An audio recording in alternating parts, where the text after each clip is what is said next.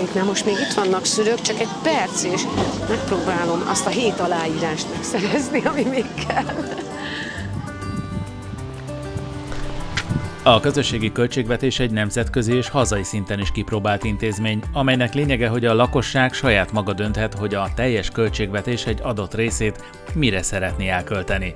Mindösszesen 7 aláírás hiányzott egy remek kezdeményezéshez, a Körösi Csoma Sándor két nyelvű általános iskolánál lévő, parkolóként működő betonterület kizöldítéséhez.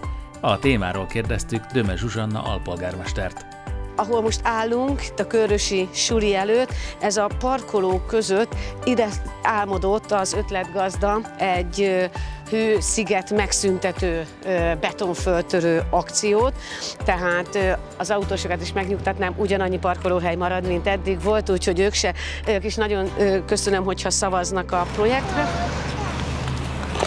De nem tudom, hogy ismerik-e a részvételi költségvetést itt Ferencvárosban. Ehhez az itteni hősziget megszüntetős ötlethez már csak hét szavazat kell. Ja, én és szavaztam már. Szavazott, akkor a többieket szeretném föl, meg a másik kettő is nagyon szuper, ahhoz még egy kicsit több kell, de mindegyik ilyen József Attila lakótelepi ötlet. Azért sokan már szavaztak a részvételin, úgyhogy az nagyon jó, de sokan meg nem